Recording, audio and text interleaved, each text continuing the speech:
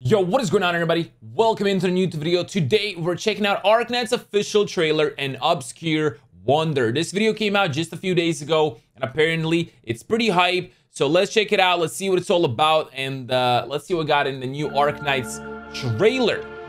You already know. You already know. All right. What I had does not even compare Okay, okay. Why do you seem so disappointed? Why is it so loud? Okay.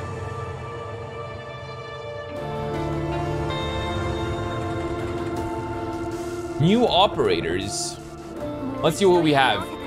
Don't worry. All right. Proviso. We have a five star right here. Oh, okay. She's got some nice, nice moves. Mlynar.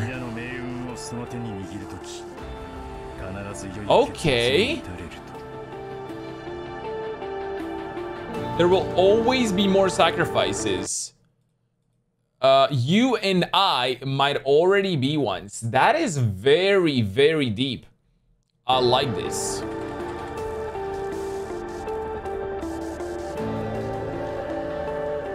Damn, look at that view.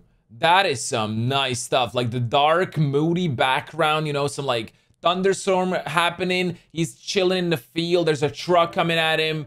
The birds flying. Dude, this is a dope background right there. All right.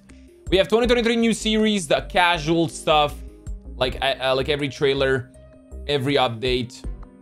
Uh, Team Life. Okay. So some new series uh, with the team of Life.